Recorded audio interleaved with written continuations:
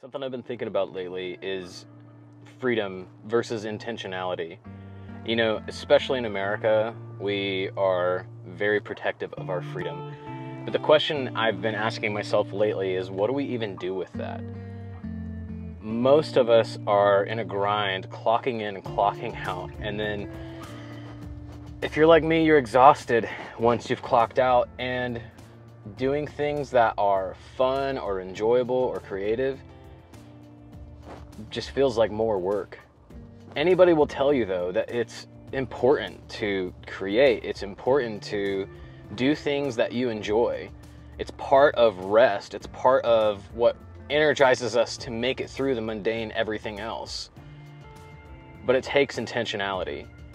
Sometimes that intentionality just looks like intentionality. Sometimes that intentionality looks like just ripping the band aid off and just going for it. I felt this the other day and I decided to just go explore this new place that we live in, and it was worth it. The payoff was huge.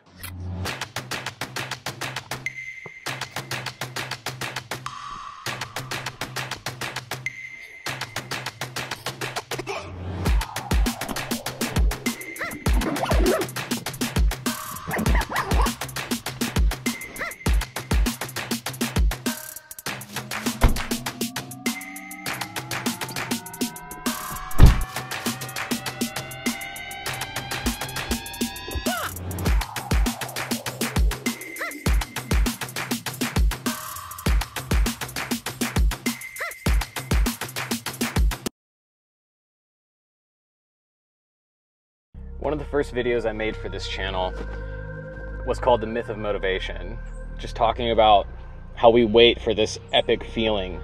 We think that motivation is some magical source that we can tap into to get things done. And it doesn't happen that way. And I think being intentional about the things that you want to accomplish is the same. It's in that same line of thinking. And the reason this has been on my mind so much lately is because it's been a long time since I've made a video. I haven't felt like doing it. I haven't wanted to. Um, that's not even correct. I have wanted to and just couldn't muster up the strength or the energy to do so.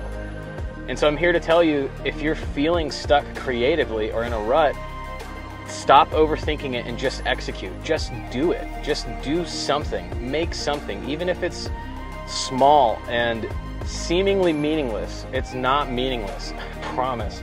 Because that one little project that you can do, like this video, which is just me rambling and showing you some pretty footage, it's going to spark that next thought, that next idea, and it's going to help you get moving again. You just have to start. Yeah. I guess this is a pep talk for past me, future me, Anybody else out there that cares and is listening? Yeah, let's go make stuff. Do I shoot this?